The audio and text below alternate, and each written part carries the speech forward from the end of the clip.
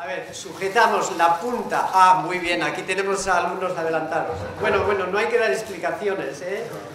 Sujetamos la punta y deslizamos la anilla hacia abajo. Genial, ¿verdad? Bueno, bueno, bueno. Eh, eh, esto ya, esto ya... Hay que mejorar la puesta en escena, eso sí. Sí, bueno, sí, sí.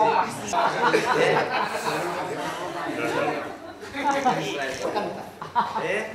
Siempre hay que practicarlo un poquito en casa ¿eh? y no revelar el secreto, porque sabéis que la magia tiene su secreto. Una caja de regalo, una caja de regalo. ¿eh? Vamos a ver lo que contiene ahora la caja de regalo. Cerramos el paquete. ¿Quieres coger eso, por favor, Miguel Ángel? Vale, una bombilla, ¿verdad? No la mires todavía, porque ahora vamos a hacer una cosa. El paquete que contenía una caja de regalo, lo metemos dentro de la caja de regalo. Electricidad estática.